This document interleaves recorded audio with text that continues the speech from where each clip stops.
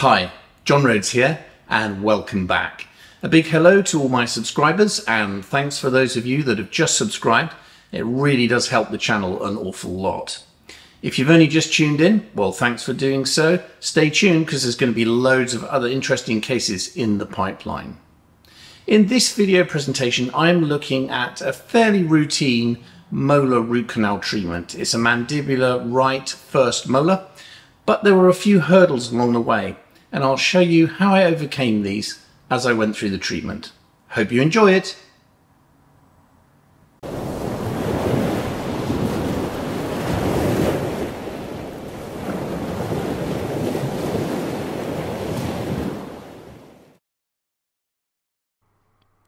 So here you can see the preoperative radiograph of the mandibular right first molar.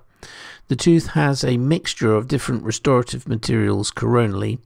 There's a large periapical radiolucency around the distal root. The canals in the mesial root are moderately sclerosed. I've isolated the tooth with a Hu-Friedy Black Edition size 14 rubber dam clamp and non-latex rubber dam. This is the restoration which I'm going to remove with a long tapered diamond burr and I'll speed this bit up for you.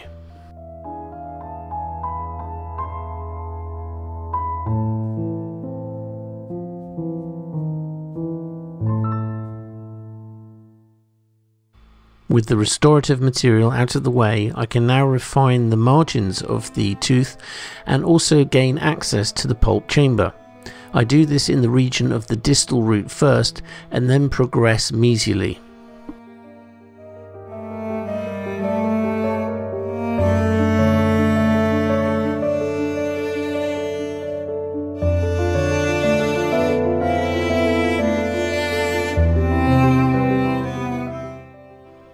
There are some calcifications over the orifices of the root canals and here I'm just exploring them with the DG16 endoprobe.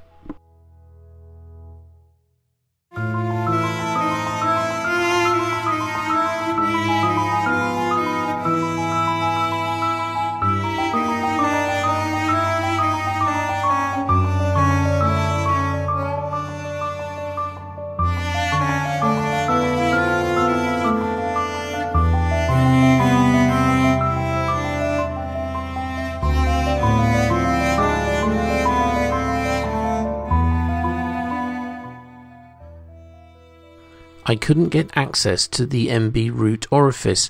There was some calcified material over it, and you'll see I have to remove this in order to get patency.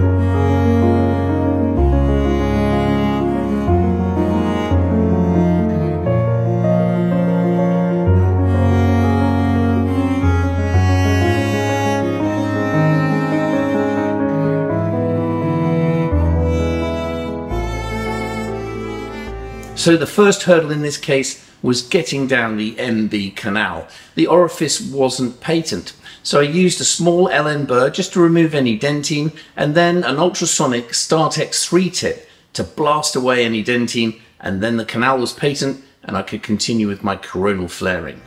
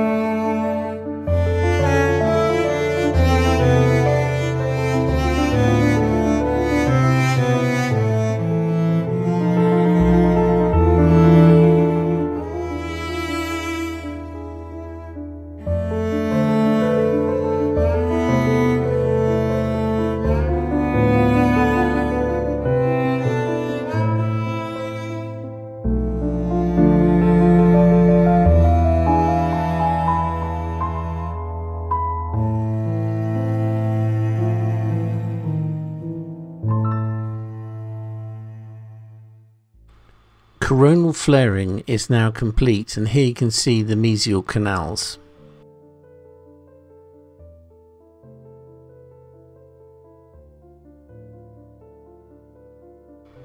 I'm using a watch winding action with the size 10 Flexofile followed by low amplitude filing action in order to progress down the root canal to the full working length confirmed with the electronic apex locator.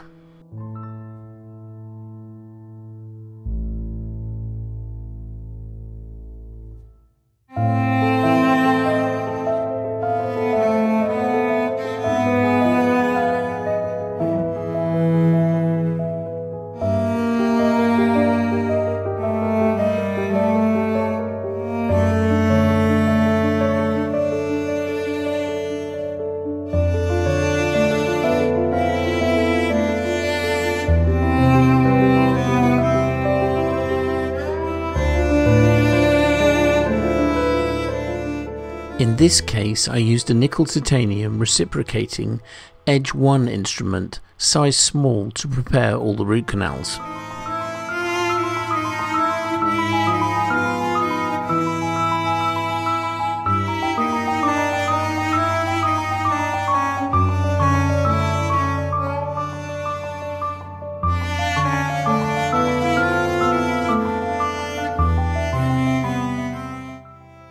And just when I was done I located a middle distal canal. That's three canals in the distal root.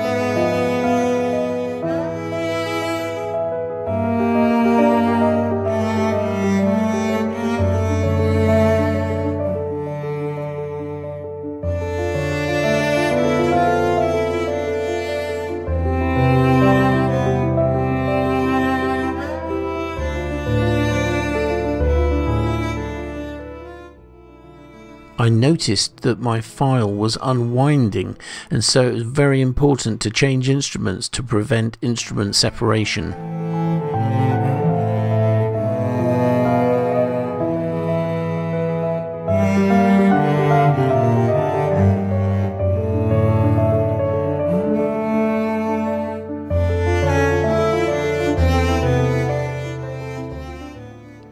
So back in with the new instrument I can continue tapering to the full working length. Don't forget these instruments work very hard and there are often acute curvatures in the buccolingual plane that you cannot see on a radiograph.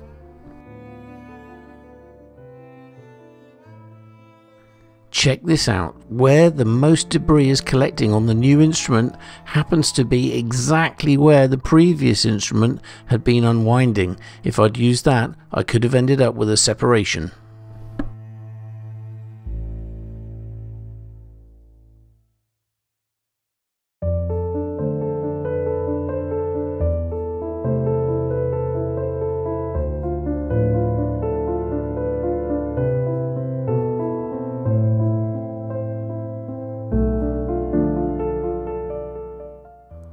Patency is confirmed throughout preparation using a size 10 Flexofile, and I'm irrigating the majority of the time with 3% sodium hypochlorite.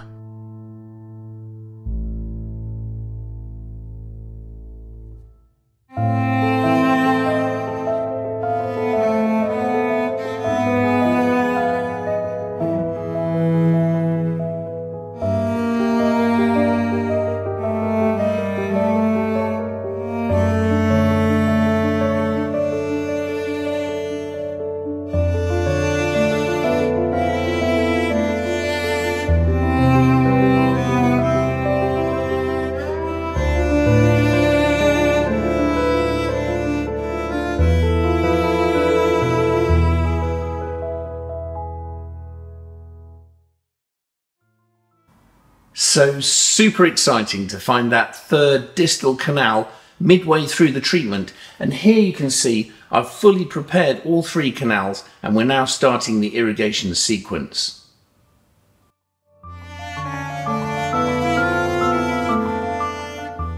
Here you can see sodium hypochlorite in the access cavity bubbling away in the root canals and doing its work.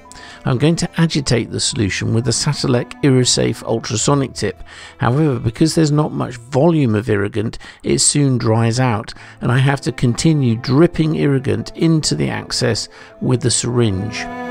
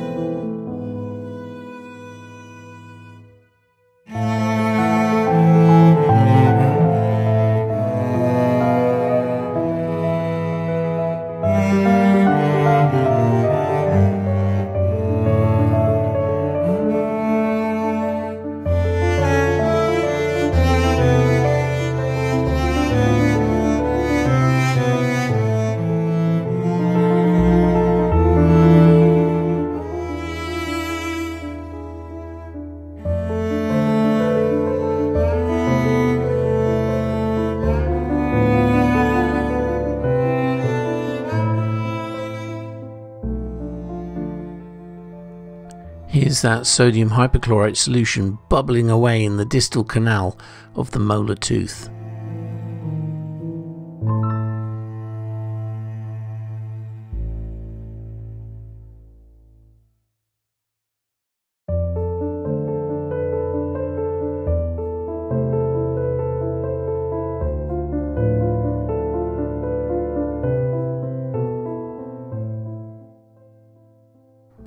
I'm now doing a preliminary cone fit and I'll take a radiograph in a minute just to check the lengths before obturating.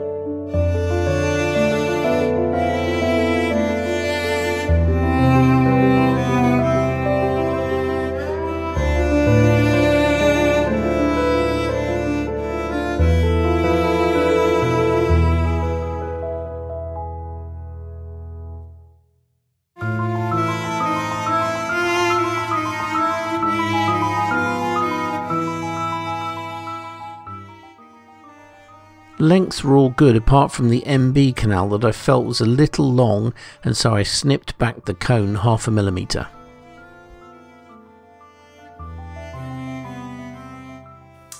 In this case, the tooth is going to be restored by the referring dentist with a full coverage crown.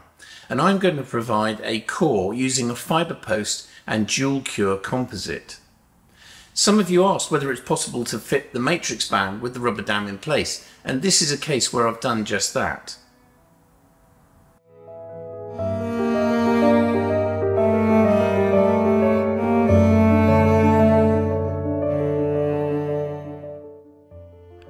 A post hole was prepared in the distal canal using a Gates Glidden size 2 and a small post drill with water spray.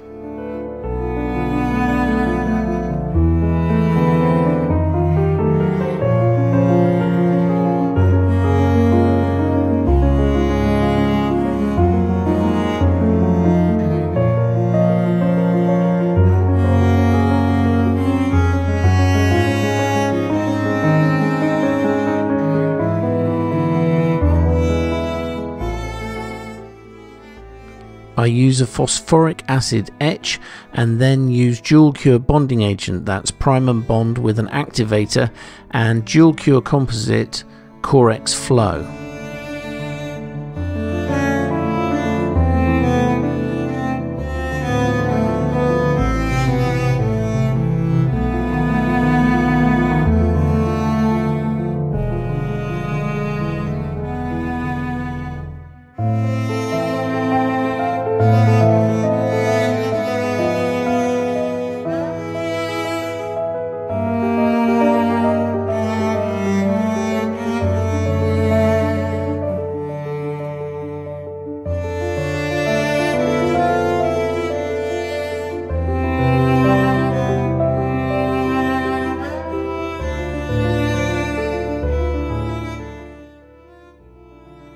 Here's a nice little high magnification view down the post hole before applying bonding agent and cementing the fibre post.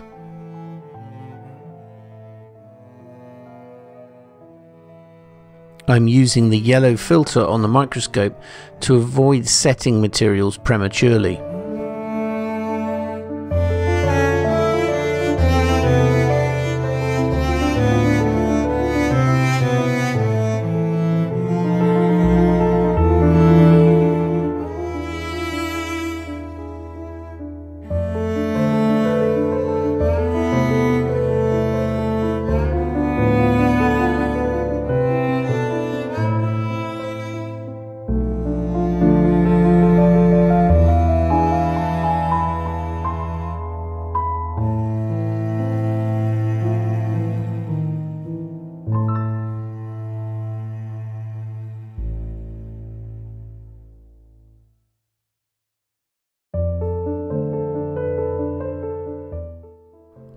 Auto matrix was fitted to the tooth with the rubber dam clamp in place and then a core built up using dual cure composite.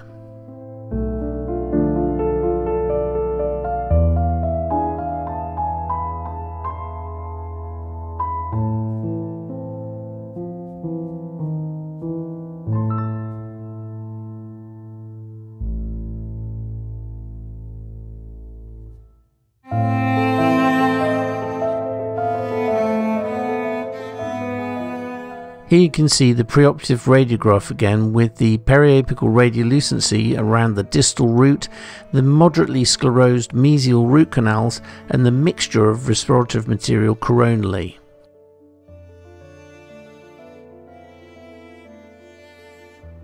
The case was obturated with vertically compacted gutta percha and you can see this has highlighted lots of lateral anatomy especially towards the apex of both roots.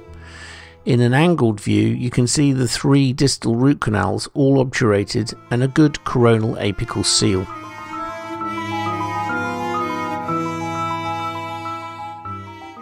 Well, I do hope you enjoyed that video. Don't forget to stay tuned because there's going to be plenty more cases in the pipeline. Subscribe perhaps if you haven't already, and above all, enjoy your endo.